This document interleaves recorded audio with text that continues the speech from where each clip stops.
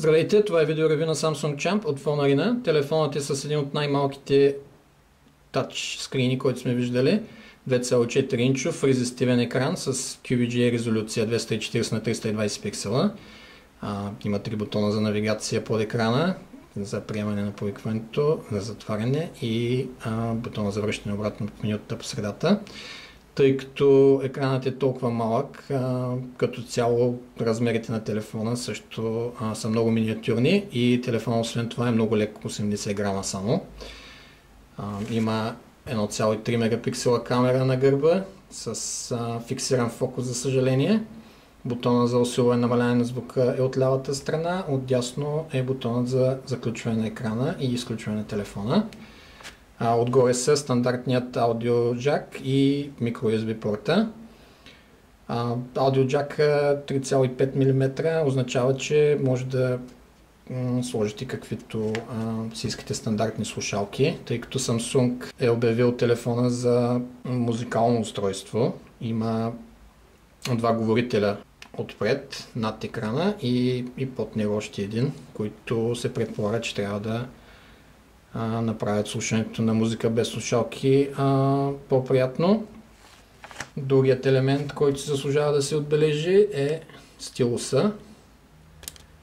Изцяло направен от пластмаса, който се предполага, че трябва да помага навигацията на малкия екран, както и при а, писането на китайски иероглифи а, при SMS-те.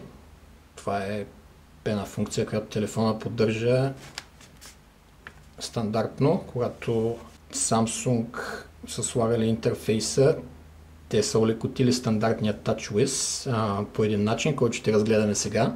Интерфейса на Samsung Champ има до 7 начални екрана. На всеки начален екран може да се разположи само по един widget, тъй като дисплеят е доста малък. На първоначалния екран е часовника, календар, снимки, бележник, връзки към любимите ви приложения на два екрана и за включване и изключване на профилите. Типичният док на TouchWiz в дъното на екрана. Връзка към телефон набиране, контакти и към менюто. Менюто е на три страници с типичните за TouchWiz приложения, както за работа, така и за забавление. Имахме проблеми с интернет настройките, трябваше ръчно да вкараме всичките а, данни, но въпреки това нещата не проработиха както трябва. Браузър е NetFront 3.5, не е последната версия, която се предполага, че е 20 пъти по-бърза в обработка на JavaScript. А, също така имахме проблеми с а, имейла, въпреки че настройките на Gmail, Hotmail и Windows Live са зададени предварително. А, постоянно ни връщаше някаква грешка, като всички останали акаунти трябва да ги настроите ръчно.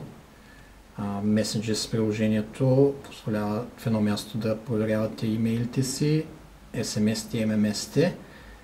Нека да погледнем как изглежда екранната клавиатура. Така изглежда екранната клавиатура. Това е единствения начин за въвеждане на текст в Samsung Champ. Ако сте свикнали с стандартния портретно разположен кейпад, няма да имате проблеми с тази клавиатура. Интерфейса на камерата не се различава особено от а, последните TouchWiz телефони на Samsung, с тази разлика, че камерата е 1,3 мегапиксела и доста от режимите на снимане липсват тук.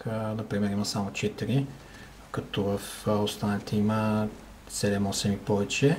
Тъй като камерата е с фиксиран фокус, трябва само да натиснете екранния бутон и след 3-4 секунди снимката е запаметена. Да минем в видеорежим, за да влезем в видеоплеера. От тук Quick View и телефона почва да индексира видеото от memory картата, като му отнема доста време, може би едно 15-20 секунди, докато индексира едно видео. А, видеоплеера е доста с базови функции.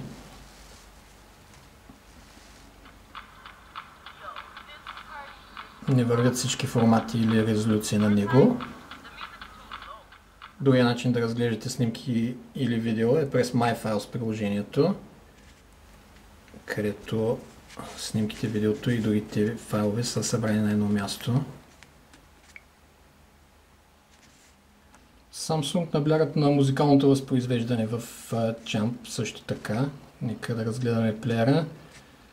Не се различава интерфейса, особено от останалите TouchWiz телефони на Samsung. Това, което е интересно тук е, че когато стартирате някоя песен, дори при натискане на пауза, плеерът се явява като уиджет на началния екран с обложка на албума и така нататък. Можете да контролирате песните от самия начален екран. Това е, може би, заради факта, че телефонът а, се позиционира като музикално устройство също така, с двойните говорители отпред и с триизмерният ефект, който наподобява Surround Sound в режим слушалки. И накрая спокойно можем да препоръчаме Samsung Champ, ако си търсите компактен телефон с а, добри възможности за възпроизвеждане на музика и тачскрин. Имахме проблеми при връзването към интернет, трябваше настройки да се вкарват ръчно. Освен това, възпроизвеждането на видео беше доста бедно от към страна на поддържани формати и резолюция, но така или иначе по принцип сигурно няма да използвате 2,4 инчов екран за гледане на видео дълго време или за сърфиране в интернет продължително. За това, за което е предназначен телефона, главно обаждане, от време на време някой SMS и слушане на музика, телефонът го прави много добре, така че а, спокойно можем да потвърдим, че Samsung Champ е един добър избор при компактните телефони с тачскрин, още повече, че цената му е изключително ниска. Това беше видеоревю на Samsung Champ от Arena.